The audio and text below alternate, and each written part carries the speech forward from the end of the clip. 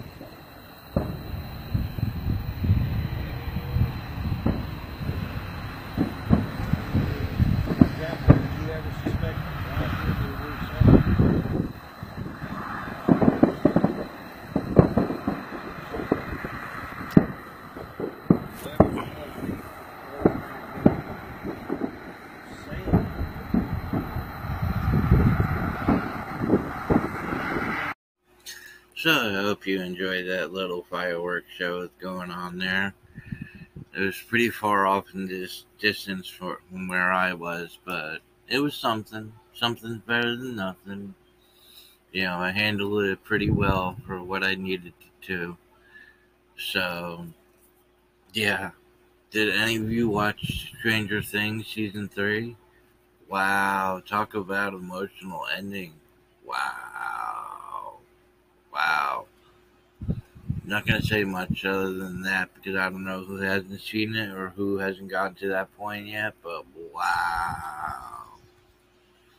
So, yesterday was a pretty emotional vlog for me, mentally and kind of physically, but I got through it.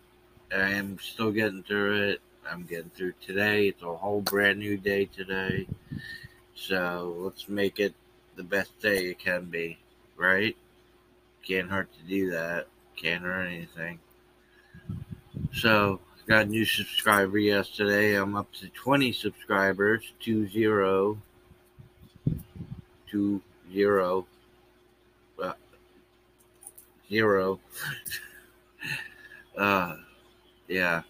So, I'm really hoping this channel can grow. It's slowly growing, but I'm really glad that it is growing. Hope it grows into something more where I can start actually having a camera, like a good camera to record with. I'm hoping I got a good lighting system to work with. That's why I always put my PayPal down in my channel. So if any of you want to make any donations, a little bit helps because it just adds up from there. You know, so just want to put that out there. You don't have to. Definitely not saying you have to do it, but if you find it kind in your heart, you want to help this channel grow into something more, which I'm trying to do, then here we go. Fixing my hair here. I got to color it red again because it's a bit faded. So let's see, what can we talk about today? Really don't know, guys.